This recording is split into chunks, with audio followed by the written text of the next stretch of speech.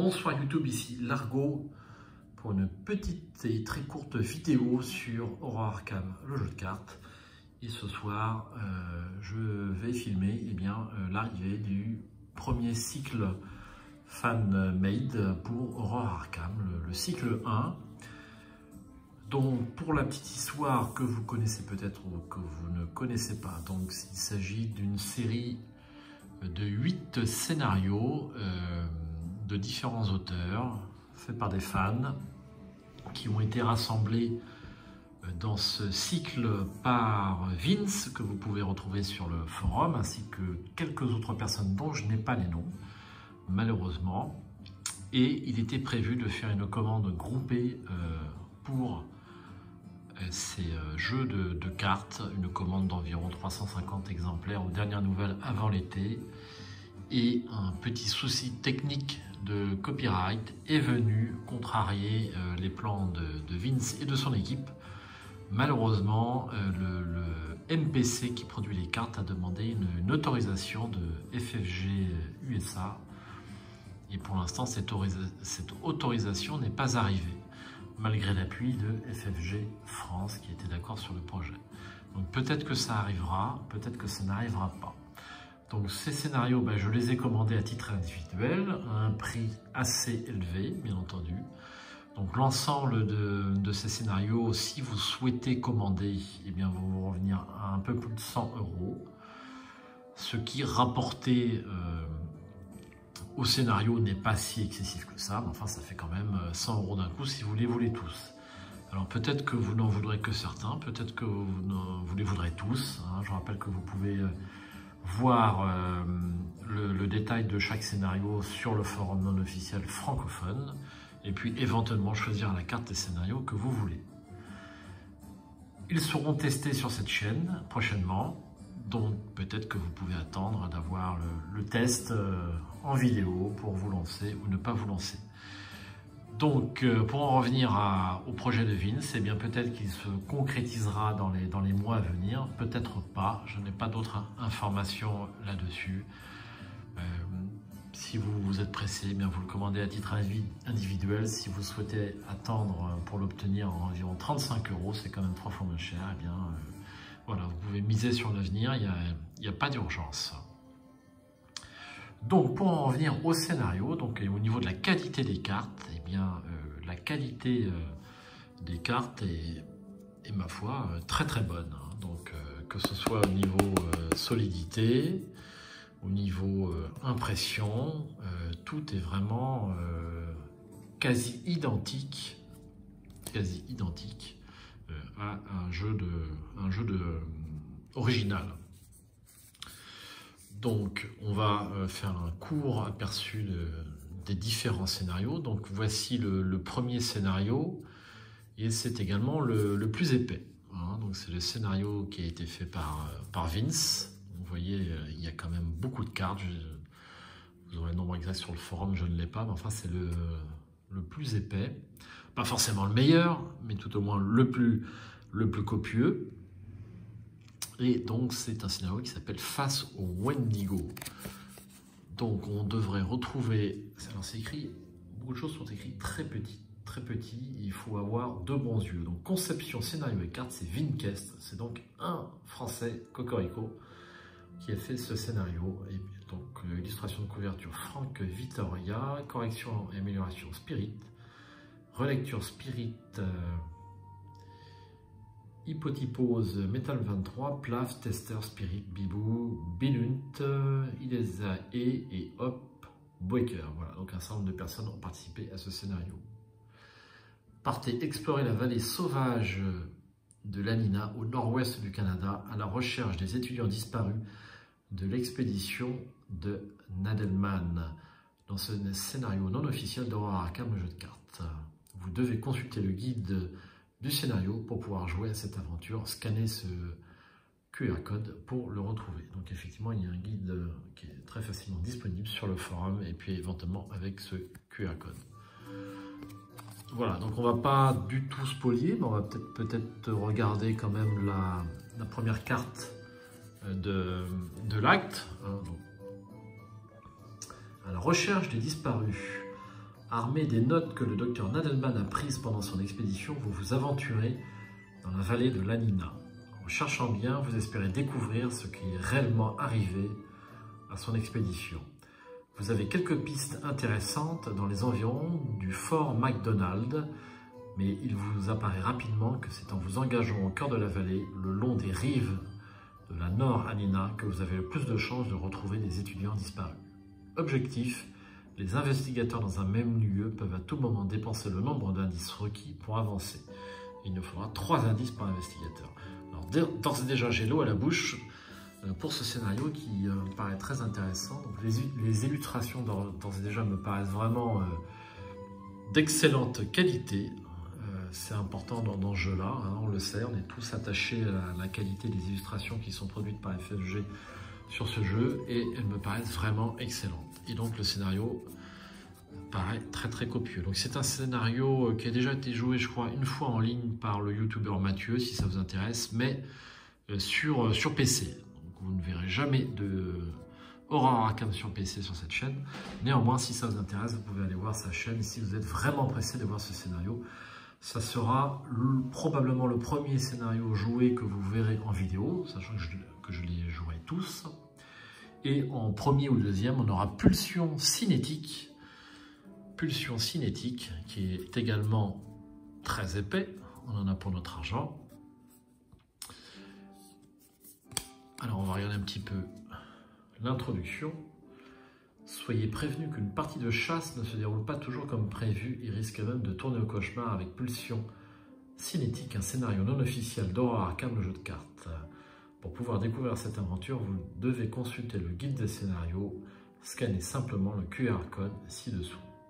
Alors, l'auteur, c'est Dr. Che. Dr. Che, bonjour. Donc, euh, un rédacteur bien connu du forum. Et euh, il nous a fait l'honneur de faire ce scénario. Donc, ben, il y a 69 cartes. L'illustration de couverture est dans TAR 0178. Alors, on va regarder aussi eh bien, la, première, carte de l'acte, parce que ça m'intéresse, tout simplement. Que la traque commence. D'après vos renseignements, la secte prépare quelque chose dans les bois.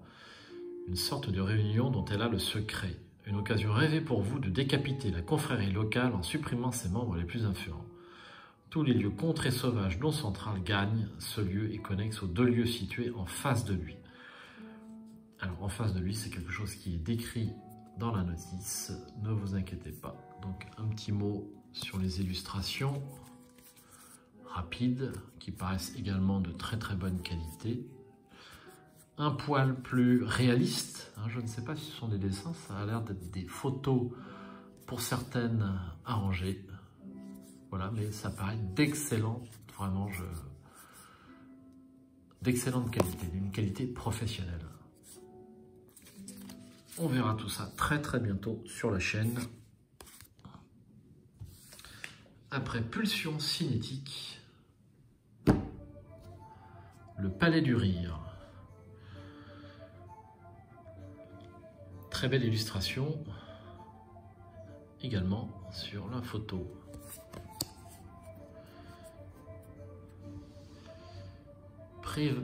Préparez-vous pardon, pour une soirée horrifique faite de barbe à papa, de popcorn et de clowns assoiffés de sang dans le Palais du Rire, un scénario pour Horacam, le jeu de cartes. Non officiel et sans aucune mesure affiliée FFG. Bien que ce scénario puisse parfaitement être intégré à une campagne en cours, il est préférable de le jouer comme un scénario indépendant. Alors, l'auteur en VO, c'est euh, Nathan euh, Soter. Traduction française, bah, Vinkes, on le retrouve à nouveau ici. Relecture, Mitch Plaf. Mise en carte, El Tulipo et Vinkest. El Tulipo, je connais. C'est Jérôme. Et remerciements à l'ensemble de l'équipe de traduction française, aux relecteurs ainsi qu'aux playtesters pour le respect du travail de l'auteur et de FFG. Eh bien, Tulipo, on va voir si tu as fait du bon travail euh, sur ce scénario, mais euh, ça part encore une fois de très très bonne qualité. Le retour d'Api. Alors, si je vais avoir le temps de faire tous les scénarios, je ne vais pas avoir le temps de lire... Hop, ne pas lire avant la fin du scénario. Frider la catastrophe. Je ne vais pas avoir le temps de lire toutes les introductions puisque donc celle-ci figure dans le paquet des scénarios. Vous n'avez pas de, de notice supplémentaire à télécharger, donc forcément elle est un petit peu plus longue. Après le Palais du Rire, nous avons le festival. Alors, le festival. Alors là, c'est écrit vraiment très, très petit. Et heureusement que j'ai la caméra pour arriver euh, à lire et à grossir un petit peu. Vous êtes loin de chez vous et le charme de l'océan Atlantique vous envahit. C'est la période de Tide que les hommes appellent Noël.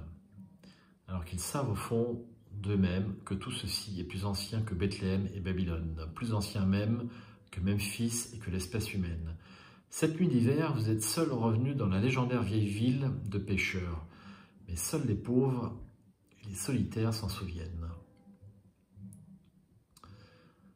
Préparez-vous à votre retour dans votre antique demeure de Kingsport, juste à temps pour Noël, dans le festival, un scénario d'horreur arcane jeu de cartes non officiel et sans aucune mesure affiliée FFG. Bien que ce scénario puisse parfaitement être intégré à une campagne, il est préférable de le jouer comme un scénario indépendant. Mais écoutez, c'est noté. Un petit mot des illustrations. Alors, j'aime bien regarder la première carte acte d'un scénario. La route à peine tracée est très isolée, il vous semble entendre dans le vent un horrible grincement lointain, comme celui d'un gibet. Cela vous rappelle l'histoire de quatre de vos aïeux, pendus pour sorcellerie en 1692. Le long de la route, une trace mène à un plateau constellé de pierres noires saillantes.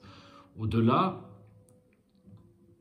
un sommet de roche plus élevé, encore semble flotter dans le ciel au travers d'épais brouillards. Et là-bas, quelques cottages gris à demi en ruine, inhabités et accessibles seulement quand le temps le permet. Vous reportez votre attention sur l'ancienne ville qui s'étend devant vous. Où se trouve votre maison de famille? Pour une action, dépensez collectivement deux indices par investigateur, révélez la voie verte. Pour une action, dépensez collectivement deux indices par investigateur, révélez l'étrange maison dans la brume. Objectif, quand un investigateur entre dans le lieu de la voie verte avancée, eh bien ça paraît là encore euh, très très séduisant alors, un petit mot sur les illustrations. Cimetière, étrange maison dans la brume, ruelle. C'est tout à fait dans l'esprit Lovecraftien et, ma foi, d'excellente euh, qualité. Hop, c'était un monstre. Donc ça, c'était le festival. Ensuite, nous avons le WIM de Pencher. Alors, comme vous pouvez le constater, euh, toutes les, premières cartes de chaque scénario ont bénéficié de la même mise en page. C'est propre et régulier, c'est vraiment très bien fait. Hein. Donc un petit gros plan sur, un paquet. Donc vous avez le logo de SFG, le, nom paquet scénario FanMed, LTF, euh, donc c'est l'équipe qui s'est euh, chargée de euh, ou LIF, j'ai un léger doute, qui s'est chargé donc de, mettre en forme l'ensemble de ces scénarios. Alors, le Whim de Pencher. Préparez-vous à un voyage terrifiant au-delà de l'Atlantique dans les tourments de la claustrophobie. Dans le Whim de Pencher, un scénario d'horreur à Arkham, le jeu de cartes non officiel, et toujours pas affilié à FFG. Bien que ce scénario puisse parfaitement être intégré à une campagne en cours, il est préférable de le jouer comme un scénario indépendant. Voici le symbole de l'extension. Illustration de couverture Pascal Casolari, auteur VO Blaine Clapperton, Redben, traducteur VF Michael Munoz, The Flying Fun, relecture FF VF Communauté francophone Aurore Arkham JCE. Mise en carte Jérémy Grande, Metal 23. Remerciements à l'ensemble de l'équipe de traduction française, aux lecteurs ainsi qu'aux playtesters pour le respect du travail de l'auteur et de FFG. Alors, longue introduction. Et comme d'habitude, on va venir voir eh bien, euh, le premier acte, interroger les locaux. Le village est calme avec seulement une poignée d'habitants aux alentours, probablement que les mineurs qui représentent une grande part de la population sont au travail. Les quelques habitants visibles ne vous accordent aucune attention avec euh, peu de chance, euh, avec un peu de chance, vous aurez plus de chance que Robert en leur posant des questions. Alors là, vous avez, je vais remarquer, une, un petit parti pris au niveau des, illustrations qui sont des, photos noir et blanc. Donc j'étais pas très pour de prime abord, mais je pense que ça va poser une ambiance euh, très sympathique et qui va nous changer des illustrations habituelles. Alors bon, si on n'aime pas les changements, forcément on va pas trop aimer. Euh, mais ça colle bien à l'ambiance Lovecraftienne, hein, le, noir et blanc comme ça, aux années 20, hein, forcément. Je trouve ça très joli et ça me paraît très très bien fait. Voilà, donc un mineur. Euh, donc lui, je ne sais pas si c'est un ennemi ou pas, hein, on sait pas. Voilà. Alors là, la statuette d'obsidienne noire, j'aime un petit peu moins le, fond peut-être. voilà. Bien. Eh bien, ça paraît très sympa aussi de très grande qualité. Alors, après le Wim de Pencher, nous attaquons Jouet d'une illusion. Là, on a l'impression que c'est un crâne, alors que c'est deux chats devant une fenêtre. il y aura peut-être des illusions dans ce scénario. Voyons ça. Le neveu de Lady Jamison vous appelle à l'aide. Sa tante a été retrouvée morte dans des circonstances mystérieuses. Que se passe-t-il donc dans la petite ville de Type Val Saurez-vous dénouer les fils du mystère qui y planent ou finirez-vous submergé par d'indicibles horreurs? Menez l'enquête dans Jouer d'une illusion, un scénario d'horreur à Arkham, le jeu de cartes. Non affilié FFG, ça ne change pas. Et pareil, il vaut mieux le jouer en scénario indépendant. Illustration de couverture Ali Gulek, auteur VO Kev Owens, Puichot, traduction VF Michael Leroy, relecture VF Berit, Vinkest et Dr Che, mise en carte version française euh, Jérémy Legrand, Métal 23 ainsi que Vinkest et à nouveau El Tulipo qui a également participé à ce scénario. Remerciements à l'ensemble de l'équipe, etc. etc jouet d'une illusion. Voici, ça c'est des cartes intrigues. Et voici, euh, ah, c'est l'intrigue 3 ça, je me. L'acte 1A, jeu d'esprit. Suivant les instructions du neveu de Lady Jameson, vous réservez la même chambre d'hôtel que celle où elle est décédée. Il est temps de faire des recherches dans la ville de Deep Val. 6 indices par investigateur, c'est beaucoup. Eh bien ça paraît là encore euh, très intéressant. De toute façon, on peut faire confiance à l'équipe francophone pour n'avoir choisi que des scénarios de qualité.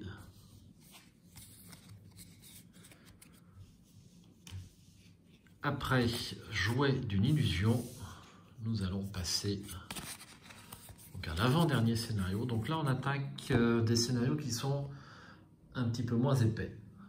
Donc les seuils de la croyance et le pont des soupirs sont, euh, on va dire, plus un tout petit peu plus confidentiels. Hein. Alors, euh, la grosse particularité de ce scénario, les seuils de la croyance, eh bien, je crois qu'on va rencontrer quelqu'un que l'on connaît tous. Traduction française de The. Believe. Salut, je m'appelle Noloa et ceci est ma tentative de raconter une brève histoire grâce à Aurora Arkham, le jeu de cartes. Ce scénario est conçu pour être joué uniquement en solo avec un investigateur conçu spécifiquement dans, ce but. Les seuils de la croyance est un jeu inédité dans les règles du mode indépendant, comme expliqué à la page 16 du guide de référence.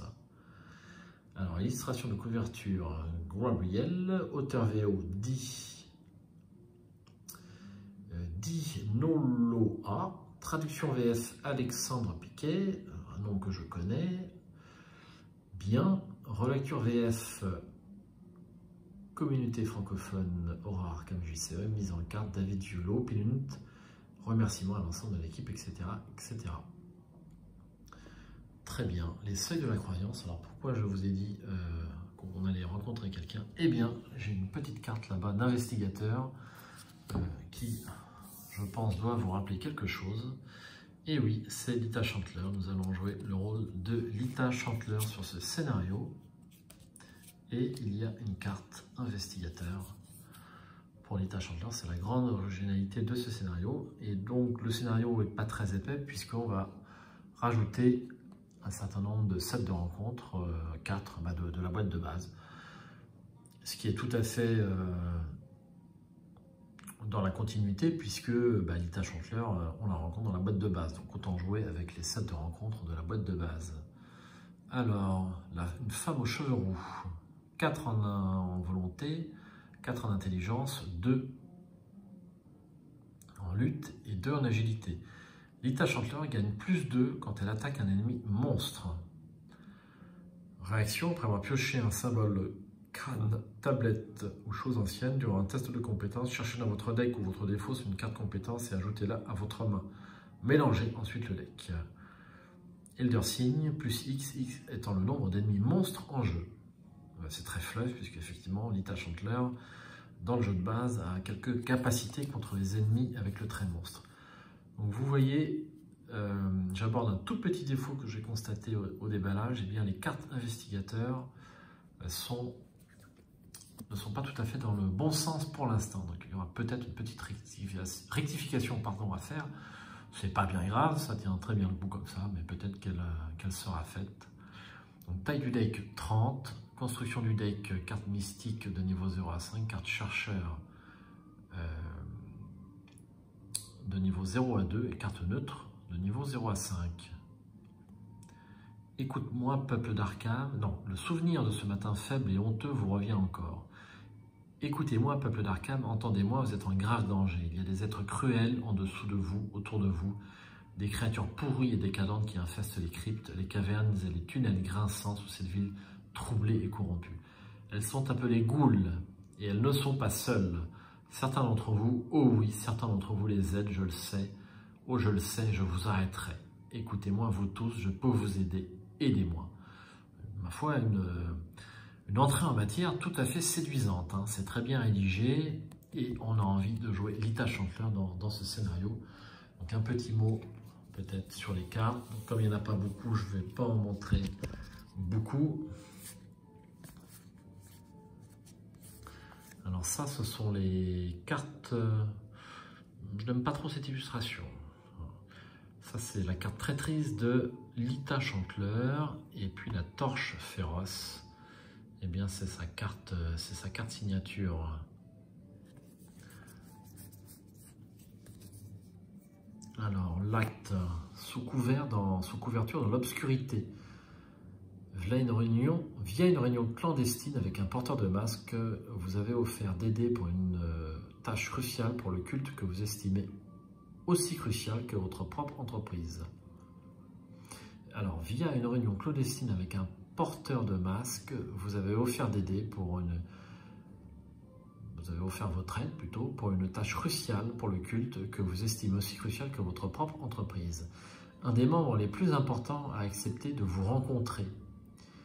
Qui cela pourrait être Vous ne pouvez le dire. On vous a assuré que les vrais croyants savaient où se rencontrer. Vous avez suffisamment infiltré les machinations du culte à ce stade pour vous sentir confiant dans votre capacité à suivre les indices. Objectif, si vous êtes à l'université Miss-Catholique, dépensez le nombre d'indices requis pour avancer. Très bien. Juste une petite carte. Donc la maison, les tunnels grinçants, je suis sur la mauvaise face, donc je vais m'arrêter là avant de spolier de trop. Et enfin, le dernier scénario, eh bien, le pont des soupirs. Faites très attention à la folie des habitants de cette charmante petite ville dans le pont des soupirs. Un scénario dont Arkham, le jeu de cartes, non officiel et sans aucune mesure affiliée à FFG. Bien que ce scénario puisse parfaitement être intégré à une campagne en cours, il est préférable de le jouer comme un scénario indépendant. Alors la plupart de ces scénarios, euh, apparemment, semblent, semblent, devoir être joués de préférence en scénario indépendant. moi, je préfère les jouer en campagne. Sur les deux premiers, je, n'ai pas vu de mention, mais il y en aura peut-être une dans le, dans le guide de référence à, voir. Alors, l'illustration de couverture est de Harry Orio, auteur VO Ben Cort, donc euh. Traduction VF Michael Munoz, The Flying Fun. Relecture VF Communauté francophone, Aurore Arkham. Mise en carte VF Jérémy Grande, Metal 23 et remerciements à l'ensemble de l'équipe, etc. Très bien. Alors, un petit mot sur Alors voyons ça, que je ne me trompe pas.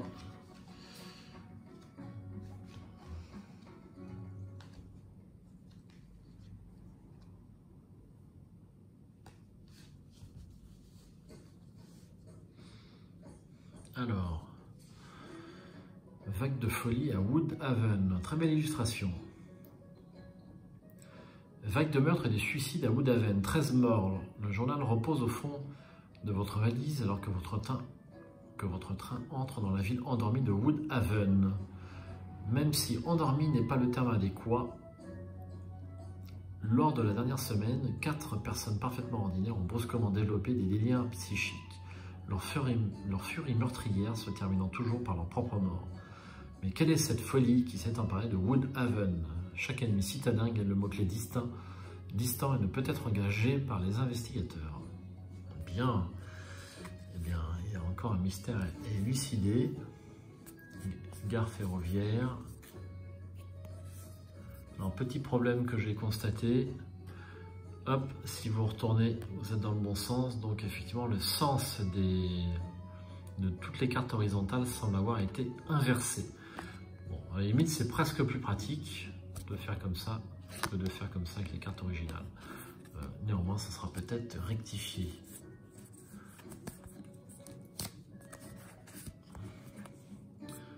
Pour des soupirs. Voilà, c'était le dernier scénario euh, ils, paraissent tous aussi séduisants les uns que les autres, hein, malgré que certains soient plus copieux peut-être que d'autres. Euh, mais euh, pour l'instant, j'ai tous envie de les jouer. Hein. Il n'y a pas un qui me, qui me rebute un peu.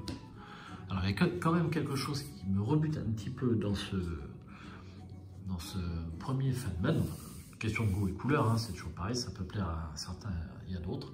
Donc on a également un certain nombre d'investigateurs qui sont inclus avec ce cycle Fanmen. Donc cerise sur le gâteau, vous aurez 5 investigateurs supplémentaires.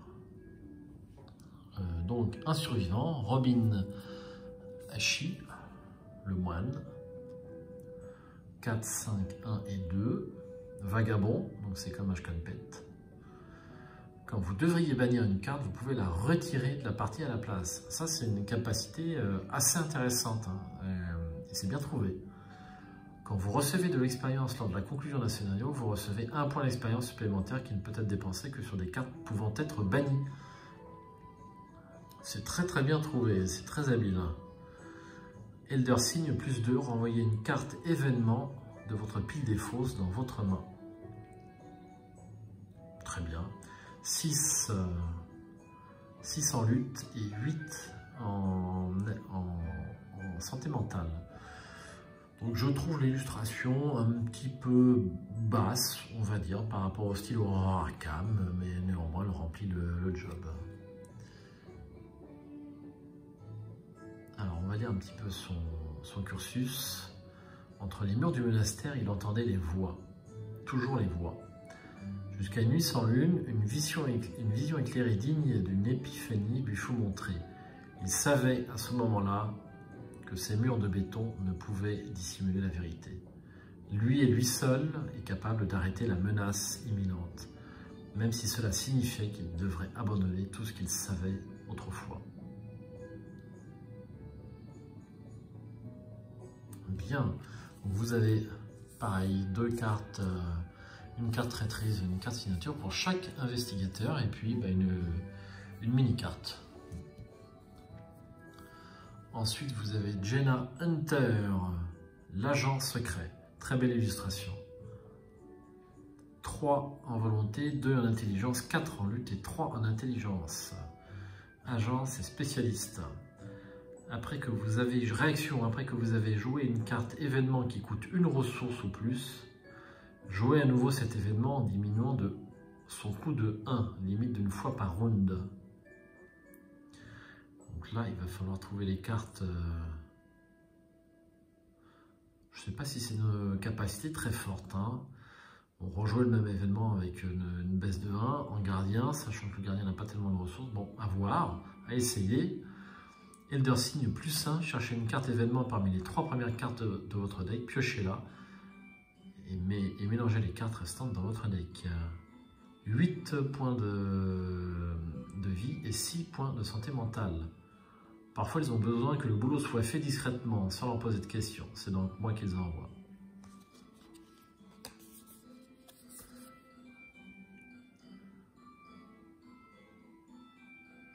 Alors là, il y a l'entretien d'embauche de Mademoiselle Hunter. Donc, carte gardien niveau 0 à 5 et des cartes truandes de niveau 0 seulement. Voilà pour Jenna Hunter. Ensuite, vous avez Jack Sullivan, avec parfois une très très belle illustration, hein, tout à fait dans l'esprit du jeu. Le tueur à gage. Deux en lutte, deux en intelligence, quatre, euh, qu'est-ce que je racontais Deux en volonté, deux en lutte, deux en intelligence, quatre en lutte et quatre euh, en agilité. Criminel et chasseur. Réaction, quand vous activez la capacité combattre d'un soutien arme à feu ou à distance, Dépenser une action supplémentaire, cette attaque peut cibler un ennemi sur un lieu connexe.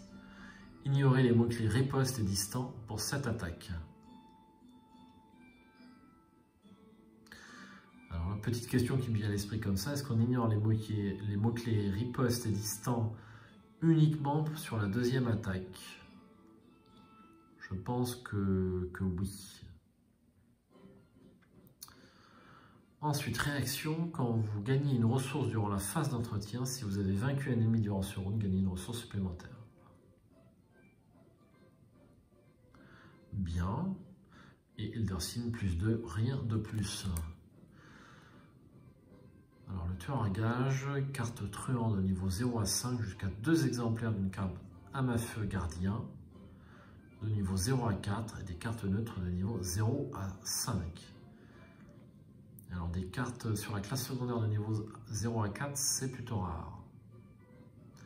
Alors on a le fusil de Jack. Juste jeter un oeil sur sa carte signature. C'est un fusil qui vaut 3. 4 munitions. Ah, petit problème de mise au point. Dépensez une munition, combattre, vous gagnez plus 3 pour cette attaque. S'il n'y a pas d'ennemi engagé avec vous, cette attaque inflige plus 1 dégât pour chaque groupe de 2 points de réussite jusqu'à un maximum de 2 dégâts jusqu'à un maximum de plus de dégâts. C'est intéressant, c'est une arme à deux mains. Ensuite, vous avez la recharge de Jack permanent. Euh, deck de Jack Sullivan uniquement, utilisation 3 munitions. Dépenser une ressource, déplacer une munition depuis recharge de Jack vers, vers une carte soutien arme à feu que vous contrôlez. C'est très très bien trouvé, effectivement, on n'avait pas eu encore de, on va dire de soutien permanent, mais avec une recharge de, munitions. C'est une carte permanente, c'est un petit peu particulier, donc c'est assez fort. Et un petit mot de sa traîtrise. Né pour tuer. Mettez né pour tuer en jeu dans votre zone de menace avec deux charges dessus. Enlevez une charge sur né pour tuer, puis cherchez dans la pile de défausse prioritairement pardon, dans le deck rencontre, sinon un ennemi et générez-le dans, dans un lieu connexe, limite d'une fois par ronde.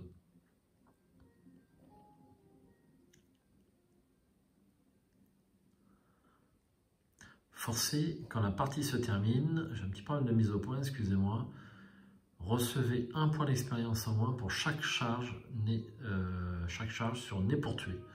Très très bien trouvé en fait, donc on peut générer des ennemis, mais si pas obligatoire, mais si on ne le fait pas, on a deux points d'expérience en moins par, euh, sur le scénario, ce qui est beaucoup et peu. On va dire que c'est peu pour, euh, pour la zélatrice, mais c'est beaucoup peut-être pour euh, certaines campagnes que l'on connaît. Ensuite, nous avons Lorraine Schulz, la philosophe. 4 de volonté, 5 en intelligence, 1 en combat et 2 en agilité. Professeur miscatonique. Action rapide, choisissez un icône sur une carte perspicacité dans votre main, puis choisissez un autre investigateur dans votre lieu. Défaussez cette carte, cet investigateur gagne une valeur de compétence de, base de 4 pour l'icône choisie jusqu'à la fin de la phase.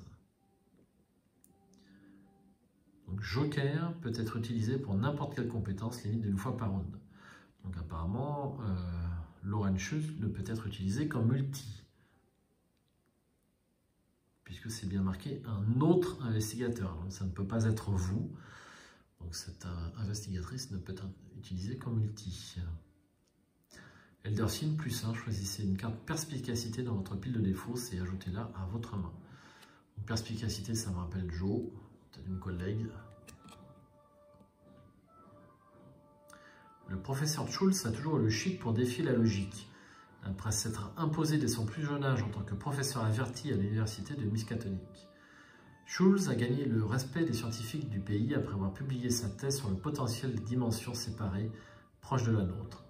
Mais plus elle en découvrait, plus ses visions devenaient horribles. Elle soupçonne, maintenant une dimension qu'une dimension proche, celle de la terreur primordiale, se confond avec la nôtre. À en juger par les conversations récentes avec le professeur d'astrologie Norman Winter, c'est un autre euh, investigateur, son collègue de confiance et son mentor personnel, ces événements étranges ne sont plus une coïncidence. Donc c'est une euh, chercheuse et elle peut intégrer les cartes perspicacité de niveau 0 à 4.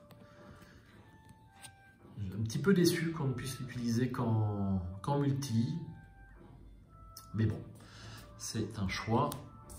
Et enfin, donc je vous ai dit tout à l'heure qu'il y avait qu'une seule déception sur le, sur le Six et bien c'est cet investigateur qui, moi, au niveau illustration, euh, je trouve vraiment pas, beau du tout. Hein, euh, voilà, je trouve ça un peu, un peu sommaire. Donc c'est le derviche tourneur Ulan Akm, donc 5 en volonté, 2, 2 en intelligence, 2 en lutte et 3 en agilité. Sorcier et croyant. Vous débutez la partie avec translucide en jeu. Action rapide, si trans extatique est en jeu, jouez une carte événement rituel ou esprit de votre défausse en diminuant de 1 son coup, puis retirez-la de la partie limite de une fois par tour. Elder Sign plus 2, tournez votre trans sur le côté de votre choix. Danse, danse pour oublier. Donc les derviches, c'était des prêtres euh, en Turquie qui ont été éliminés par le, on despote local dans les années 20. Il me semble que c'est euh, c'est ou avant la première guerre ou entre les deux guerres. je ne sais pas exactement. J'ai appris ça quand j'ai visité la, Turquie. Voilà, bon, l'illustration un petit peu tristounette. Hein. Les goûts, les couleurs. Alors, carte mystique de niveau 0 à 5 et carte niveau carte note de niveau 0 à 5, carte rituel ou esprit de niveau 0 à 2. Voilà la carte signature. La trans, elle a deux côtés. Donc un côté euh, extatique. Quand vous subissez un ou plusieurs dégâts, annulez un dégât forcé. Et quand vous subissez un dégât, vous retournez cette carte sur le côté lucide. Et quand on est sur le côté lucide, quand vous subissez une horreur sans subir de dégâts sur votre personnage, retournez cette carte sur le côté extatique. Donc on va plutôt chercher à subir des horreurs si je suis bien avec ce personnage. Vous voyez là encore une illustration qui me, qui me plaît pas trop. Je crois que je ne jouerai pas ce, mystique. Mais bon, je peux encore changer d'avis, hein. on va pas faire un procès d'intention. Et puis la carte signature, une danse funèbre euh, rapide. Quand vous jouez des dommages et ou horreurs euh, rapides, jouez je ne comprends pas tout. Jouer quand des dommages et ou horreurs devraient vous vaincre. Alors Alors, jouez cette carte, peut-être quand des dommages et ou horreurs devraient vous vaincre. Là, il y a une coquille importante. Vous ne pouvez pas être vaincu avant la fin du tour et pouvez effectuer deux actions immédiatement. À la fin du tour, votre personnage est, vaincu. Donc ça, c'est quoi? C'est un événement qui vaut 2. un dernier baron d'honneur, c'est pas mal, c'est bien trouvé. Cette illustration, je l'aime bien, mais pas les autres. Voilà. Eh bien, c'était le cinquième et dernier investigateur de ce cycle Funbad. Bon, je crois qu'on sera tous d'accord pour reconnaître l'exceptionnelle qualité du travail euh, des bénévoles sur ce, sur ce cycle FunMed 1. Apparemment, il y en aura d'autres. On, ne peut que l'espérer. Et puis, ben, j'espère que si ça vous intéresse, ce, paquet de cartes soit, bientôt en, votre possession, hein, de façon plus ou moins rapide. Petite cerise sur le gâteau, vous avez également, avec les mini-cartes livrées, et eh bien, des, euh, des, tout aussi minuscules cartes euh, liaison entre lieux, hein, elles sont recto verso. Et donc c'est euh, pas mal, c'est un petit plus euh, très sympa, je trouve, qui pourra peut-être aider certains pour les, euh, en guise de connecteur interlieux. Hein. Donc ça c'était la petite cerise. Donc je reviens à l'ensemble de cette campagne qui vraiment est un beau cadeau pour l'ensemble des joueurs d'horreur Arkham. Un cadeau un petit peu inespéré, hein, parce que la somme de travail qu'il faut pour faire l'ensemble de ces scénarios, entre les dessinateurs, les relecteurs, les testeurs, le concepteur du, scénario, eh bien moi je, dis chapeau. Je ne sais pas si je serais capable de, m'aventurer dans, une telle aventure, mais je comprends que ça puisse intéresser parce que le jeu étant tellement passionnant, on a envie de produire. Euh, je ne dis pas que l'idée m'a pas taraudé non plus, l'idée de produire un scénario parce que le, les mécaniques sont tellement, tellement subtiles et tellement euh, agréables à manipuler qu'on a envie aussi de, passer de, l'autre côté de la barrière. Et donc, ces, euh, huit auteurs l'ont fait.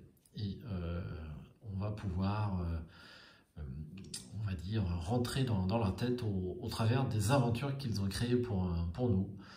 Je pense que ça va être très très sympa. Donc, vous le savez, la dernière extension de vient de sortir. On a pas mal de choses à faire euh, sur, sur Or Arkham. L'actualité est quand même assez importante. Euh, Meurtre euh, à l'Excelsior sort bientôt. Le, Blob, le dévorant de toutes choses, sort bientôt aussi. Enfin, on n'a pas le temps de s'ennuyer. Hein. Voilà. Donc j'espère que cette petite vidéo eh bien, vous aura mis l'eau à la bouche sur ce, ce premier cycle FanMed. Je vous renvoie au forum non officiel francophone avec le poste de Vince si vous voulez plus de détails sur l'ensemble de ce scénario. Ça sera beaucoup plus précis que ce que moi je, pourrais en dire. Et puis, euh, donc vous aurez également euh, sur le forum l'occasion de les remercier si vous le souhaitez pour, euh, ce travail. Il me reste qu'à vous souhaiter d'excellentes investigations sur Aurore Incam, le jeu de cartes, et au plaisir de vous voir à nouveau très prochainement sur cette chaîne.